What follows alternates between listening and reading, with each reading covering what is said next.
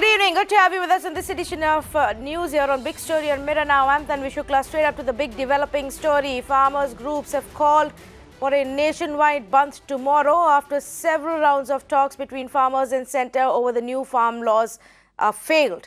Now, Bharat Bandh will be observed from 11 a.m. to 3 p.m. during which all shops and mandis are supposed to be shut impacting the delivery of essential commodities like milk, fruits and vegetables. As many as 18 political parties have extended support towards farmers' Bharat Bandh call, to which the centre has issued now a countrywide advisory asking all states to tighten security and ensure COVID protocols are followed.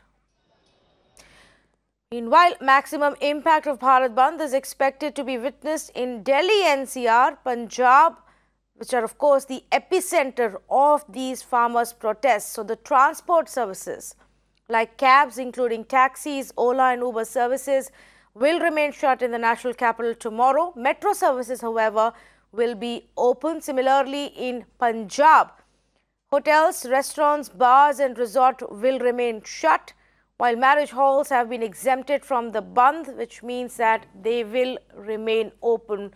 So, NCR and Punjab are the ones that are likely to see a bigger impact. In Karnataka, buses, restaurants, hotels, commercial establishments will continue to function. Let's in fact go across to some of our reporters on ground. Mayuresh is joining us from Mumbai, Shrija from Karnataka. Shrija, so as far as Karnataka is concerned, we are given to understand not too much impact is expected, at least in the big cities. Uh, give us the details of what various associations are saying.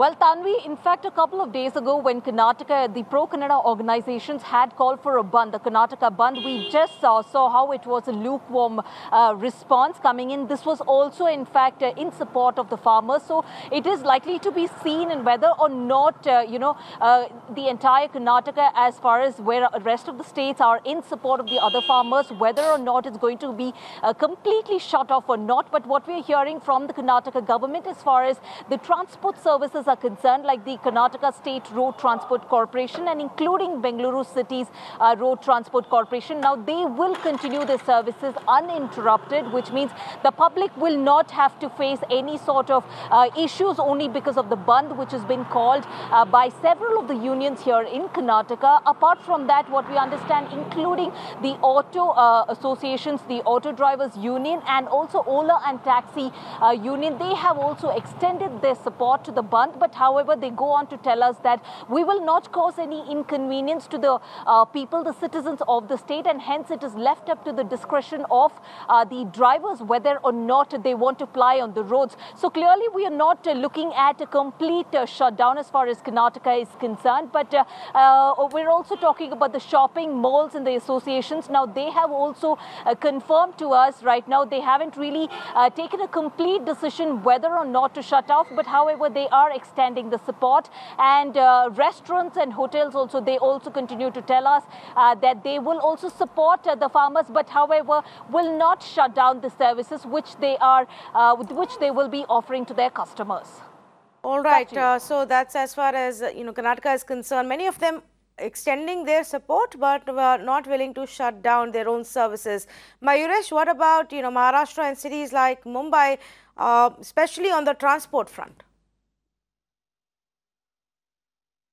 Absolutely, Tanvi. If we talk about a city like Mumbai and especially the transport front, uh, the BST uh, will be plying. They have said that uh, BEST will not be participating in this kind of bandh, and never BFC, BEST we have seen uh, participated in this kind of bandh. Uh, when we spoke with the BST officials, they said that they will be uh, basically they will be arranging the nets as well as a few gears for the BST buses, so that if something like if the situation goes out of the hand and if something like a riot-like situation happens, then BEST buses will be saved. But BST will be plying uh, same with the auto and taxi because uh, the auto taxi unions uh, have clearly said that they have not called for any bandh or they are not even uh, asked their uh, uh, members to participate. So Mumbai, the, on the transport part, Mumbai will not be having any kind of issue or not, will not be facing any kind of issue because the Kali Pili, the autos, the BST buses, even the railways will be plying.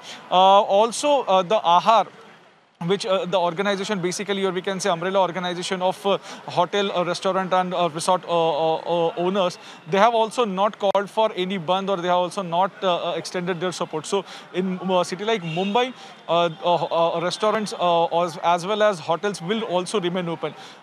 then when we had word with the farmer leaders or the farmers association, basically they are saying that we are targeting the rural areas, especially the Nasik, especially the Vashi market, that is APM Market will remain closed uh, and also APMC markets across Maharashtra will remain closed and also the market yard of Pune because these are the main points of where they are going to conduct uh, this protest in a large number and they are going to uh, shut these uh, places in a large number. So uh, the more focus will be uh, in the rural part we can say and not in the metro cities or not in the small town like, like Mumbai or nearby cities like Mumbai. All right, so the, that's as far as Mumbai is concerned, uh, and, and so big impact not expected, at least in cities like Bengaluru and Mumbai. Uh, what remains to be seen is the impact we see in the national capital. That's been the epicenter of the protest. Shrija and Mayuresh, thanks so much for joining us. We've got some more breaking news coming in.